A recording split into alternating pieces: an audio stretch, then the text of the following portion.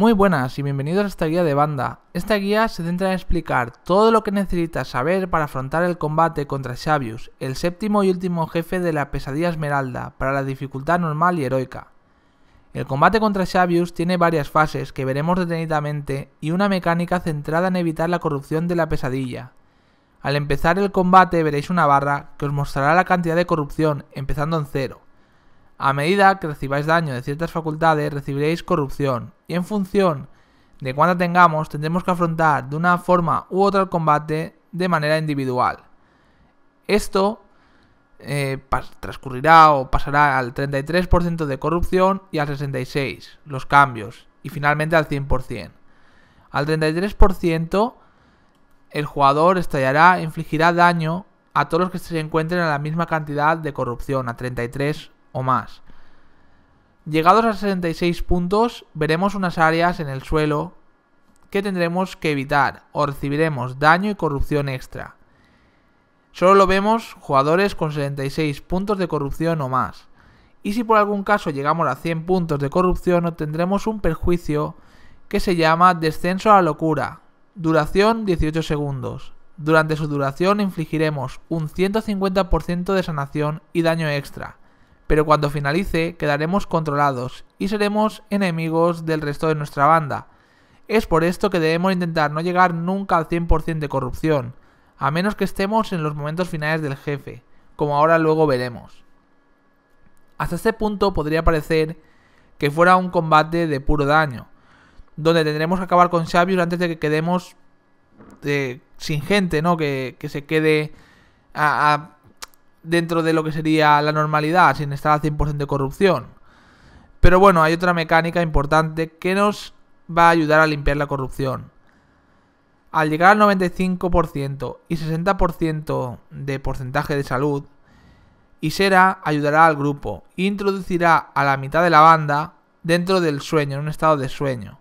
Los jugadores que entren en el sueño seguirán acumulando corrupción de forma habitual, pero al llegar al 100% o morir, una de dos, finaliza lo que es ese estado onírico, ese estado del sueño, y nos sacará de él, quedando eh, en el combate a cero de corrupción y teniendo todos los CDs y todos los recursos intactos. Ah, si hemos muerto salimos inmediatamente, si llegamos a 100 de corrupción tenemos los 18 segundos de daño aumentado, posteriormente abandonamos cuando nos fuera a hacer el control, el estado del sueño, y podremos seguir actuando de forma habitual.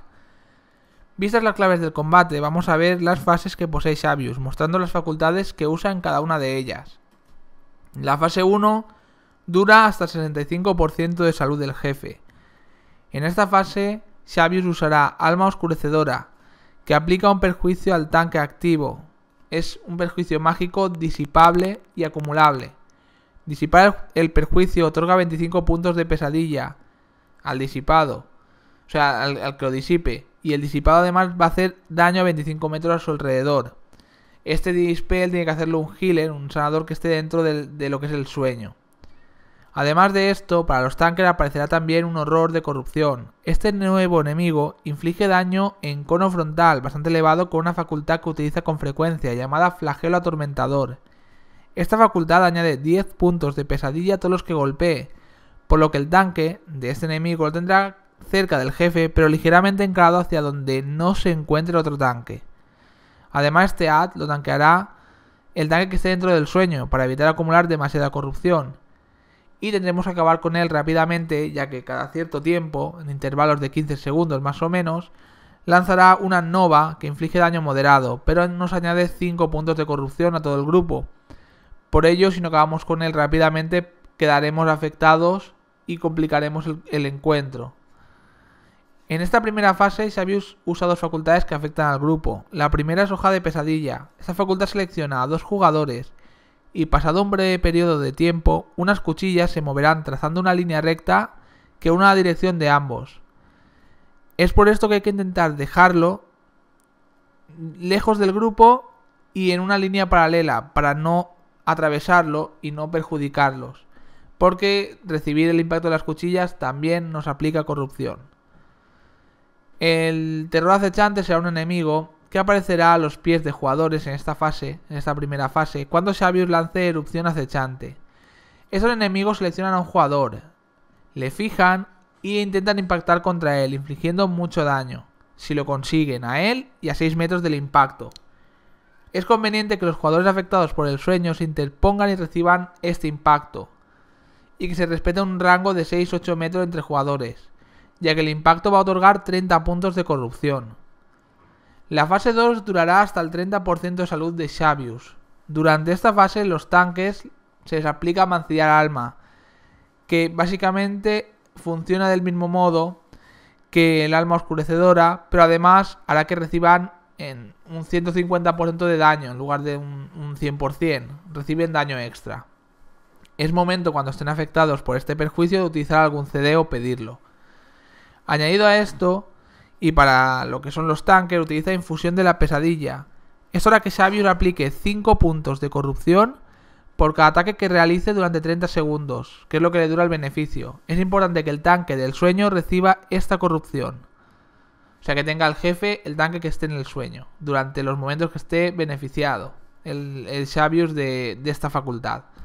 El resto de facultades que usaba en la primera fase no las utiliza en la fase 2, pero añade las siguientes. La primera es Meteorito de Corrupción, que es un área, como veis aquí, que inflige daño elevadísimo y además aplica mucha corrupción. Este daño y esta corrupción se reparten entre todos los afectados, en todos los que han recibido el impacto, y por ello hay que intentar estar juntos para repartirlo.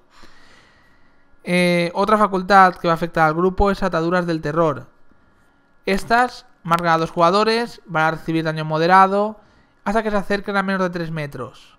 Y por último en esta fase llamará horrores de pesadilla, que se acercarán hacia el jefe, intentando canalizar Ruina Oscura, que posee un alcance bastante corto y debe ser canalizado hacia Xavius.